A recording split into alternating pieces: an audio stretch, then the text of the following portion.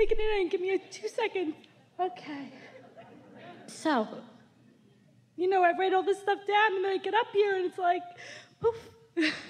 but um, That's what we were just talking about, isn't it? poof. Yeah. So, I've always kind of manifested, but not, you know, bigger things, just little things. I wanted this, I wanted that. Are you saying that when your desire and your expectation were close, it happened quickly? But when your desire and your expectation are further apart, then it doesn't happen as fast. Correct. Yeah. We thought that's what you were saying. Yes, exactly. Precisely. So all of a sudden, I feel like I have all these new desires that I'm very excited about, and I don't share them. We're going to interrupt you like this because it's fun. Uh-huh. I like fun, love fun. We know. we never give anyone something that they're not able to take. but when you said all of a sudden, that's such an interesting thing because it took a while for you to get there, and your awareness seems sudden, but you've been a long time coming to it. And so when you say all of a sudden, another way of saying that might be, I'm coming into full awareness of. Yeah. And I know exactly what I want. And I even put people in there too. Yeah. People that I know already, and maybe some people I don't know, and I have the whole plan. And I just want to know am I crazy? Or, Well, pretty much.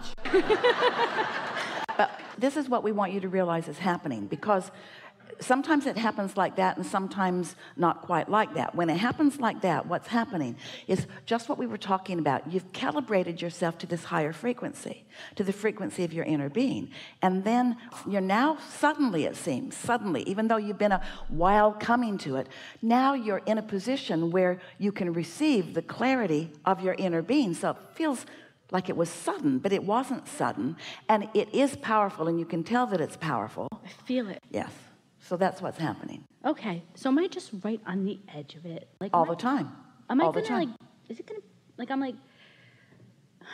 Not that I'm trying to force it to happen because I stopped doing that. Well, we know you're not trying to force it to happen, but what you are doing, which you don't mean to do and you don't really want to do, is you're focused upon what hasn't quite happened yet. Anytime someone says, Am I on the brink? What they mean is, When's this sucker coming When in? Yeah.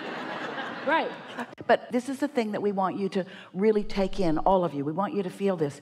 You are always eternally going to be on the brink of letting the next come in and the next come in. That's what turning thoughts to things that's what it is. When you let that be okay, because that's the way it always is, then you take focusing upon the absence of it out of the equation. Can you feel how that is? When you understand that there's always going to be something more, it causes you to not focus on the absence of the thing that hasn't come yet. Satisfied with what is and eager for more is the perfect emotional state. Now, a lot of humans, they don't want to hear that because they're afraid because they remember when they were with their mother. that if they acted satisfied, then no more good stuff came. kind of like, you got all you need, stop it. And so people are sometimes afraid that if they say, I'm satisfied, then the universe will say, Well, that one's satisfied. Who else is needy? But the universe doesn't operate that way. It's not like that. When you feel satisfaction, you are without resistance. And when you are without resistance, you're allowing what's in your vortex to be realized by you. It's already been revealed, but there's a difference between it being revealed and you realizing it. And the difference between it having been revealed and you realizing it is what state of vibration you are in in any moment in time. So when you feel like you're on the brink of something, you're not in the state of totally receiving it. There's still some resistance in your vibration that isn't quite letting it in. So you want to just sort of talk that down a little bit by saying things like, things are always working out for me, and it's in a state of unfolding. And I like watching it unfold, and it's fun to watch it unfold. And I'm not ever going to get it done. And in fact, I don't ever want to get it done. I like life constantly queuing up new desires for me and me finding more ways to identify the vibration of my desire and isolating myself to and calibrating myself to it. That's what makes it delicious. If you have wanted something and you know you're off from it, and then you focus deliberately and you can feel you're on it and you feel yourself feeling satisfied and you begin to feel ease around it you know you're calibrating to it and then you witness the unfolding of the events that is so much more satisfying than if something just drops in your lap because you were resistant resistant resistant and then something helped you to focus for a moment in non-resistance. That's that jerky thing that we're talking about. You can be in a state of non-resistance as you're inspired by someone else. Could happen in this room. You could be at a concert. You could be with a friend who is very clear and focused. In other words you find yourself by default being in a state of allowing quite often. But unless you're doing it deliberately and on purpose it will never really be satisfying to you. But when you know what the steps are and you know how it feels to be in a state of resistance and how it feels to be in a state of less resistance and how it feels to really tune yourself to a state of well-being then.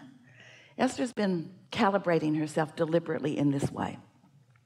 Some years ago one of the first questions Jerry asked of us was are there laws? Are there any things that we can just know that always are and we said there's the law of attraction which is steady and always responding to what's going on. The law of attraction says and means that which is likened to itself is drawn. And then we explained it further made a recording about it the second one was we called it the law of deliberate creation. It's more of a process than a law. But what it means is you can create by default or you can create deliberately. You can offer vibrations in response to what you're observing. A lot of people can live pretty well just doing that. Or you can be deliberate about the way you focus yourself. And that's what we talk about all day when we are together like this.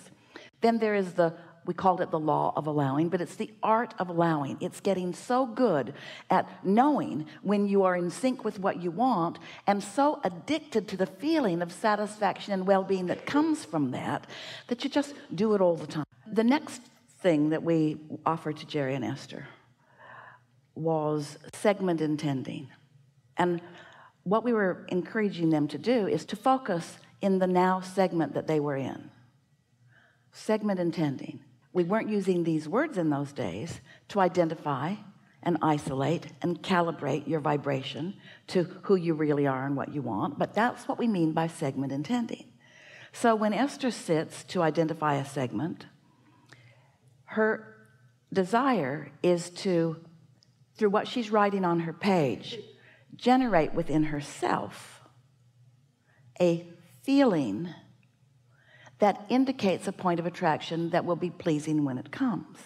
It's like in this segment identifying emotional states of being and focusing on them until she can feel them moving in her because she understands that if she will do that in this segment that as she moves forward into what comes next what comes next will behave in the way that she has calibrated Esther thought that segment intending meant I'm going to get in my car and I'm going to go over there. And so universe get them all lined up so that when I get there they're behaving the way they need to when I get there. Now she understands that what segment intending is is accomplishing her own point of attraction so that when she takes herself and her own point of attraction into the next segment whether it's a room full of people or a highway full of automobiles or an airport full of fellow travelers that what she will experience will be a vibrational match to what she's already calibrated to. Does that make sense?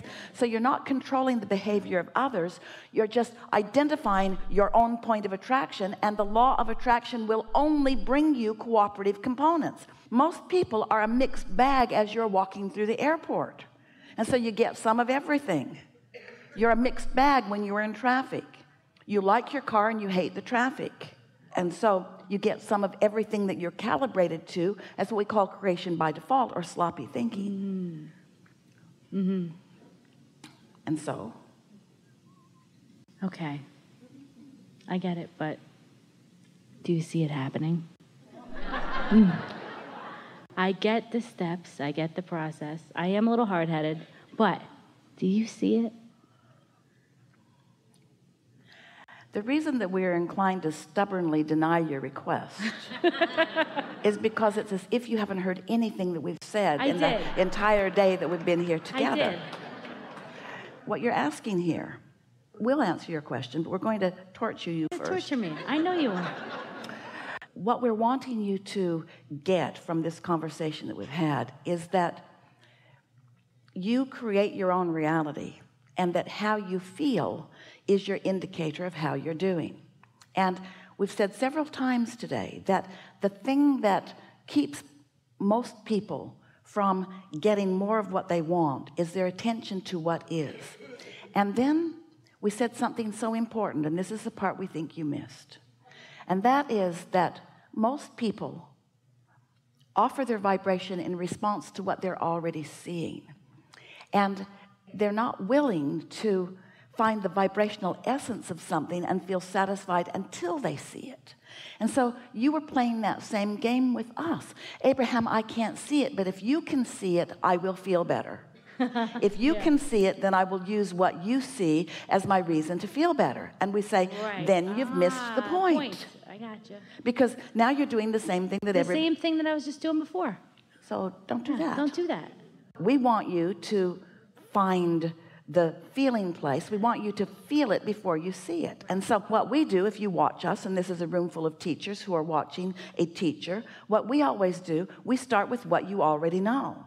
And we talk about what you already know which causes you to become a cooperative component to what you already know. Do you understand that you create your own reality? Yes. do you understand that you have a point of attraction that all things around you are responding to? Yes.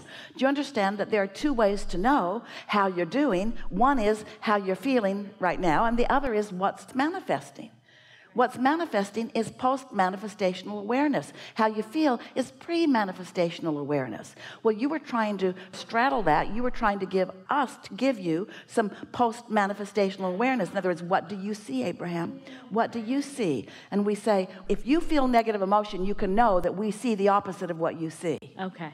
How about that? Yeah. So if you yeah. if you feel doubt, yeah, that should let you know that we see something other than doubt. Okay. So ask your question in a different way. We think you are enlightened now. I am. I'm excited.